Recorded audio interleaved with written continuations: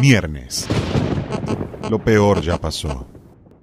Mira, yo creo que eh, eh, nosotros los masacres seguimos de alguna manera siendo los mismos. Lo que cambió muchísimo es el entorno, por suerte, para mejor.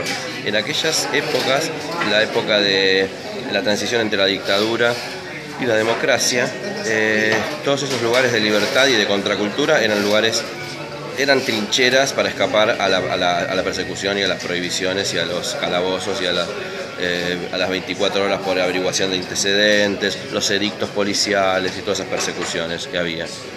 Hoy en día, y, nosotros en, el, en el tema Feliz Noviembre, la celebración que hacemos es que toda esa gente que antes era el rechazado, el excluido, el distinto, el raro, el perseguido, el cuestionado, eh, hoy en día no solo andamos por la calle libre, sino que tenemos espacios oficiales, oficialísimos, al punto de que se ponen escenarios gratuitos en toda la ciudad de, Buenos Aires para eh, tocar folclore, electrónica, rock, Noche de los Museos. Todo esto pasó en un mismo día, que fue el 15 de noviembre del 2014.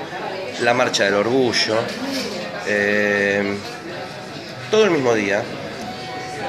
Y como símbolo, casi como símbolo, al día siguiente muere Omar Chabán, que es un eh, generador de esos espacios que antes eran prohibidos y que hoy en día son, te repito, oficiales, porque toda esa gente que tocábamos en esos escenarios tocábamos eh, con el aval del Estado, con el apoyo de no sé qué secretaría o de qué, o de qué rama de la parte de cultura, con buenísimos escenarios, con buenísimas luces, con buenísimo sonido, remunerados, premiados, aplaudidos. Entonces, fíjate lo que cambió en el término de 20 años de ser los, este, los que éramos perseguidos a este, ser este, los aplaudidos, de alguna manera la revancha, los héroes, no sé.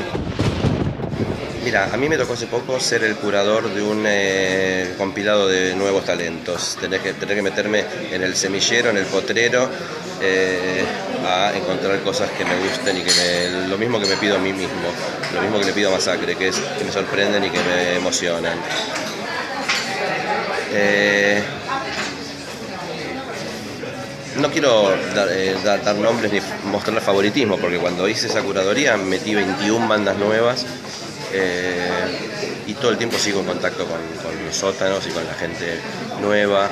Eh, considero que la contracultura también pasa, como pasaba en los 80, por el nuevo semillero literario, la FLIA, el Matienzo, el Pacha, donde hay este, jams de poesía, no solamente de música.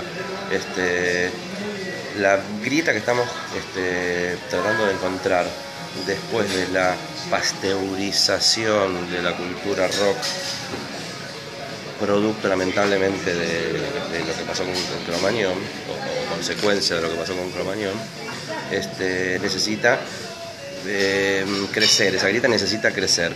Está saliendo de esos lugares, no necesariamente del rock, sino de las nuevas plumas, las nuevas poetas, los nuevos performers, las, las Andújar, este, bueno, Joshua, que lo, que lo, saludamos y que lo, lo, lo, despedimos. Este, entonces yo creo que la grita de la contracultura puede llegar a salir de esos espacios, no necesariamente del rock, porque el rock, si no murió con Kurt Cobain, murió con Lou Reed. Miernes, de 23 a 1, por Radio Colmena.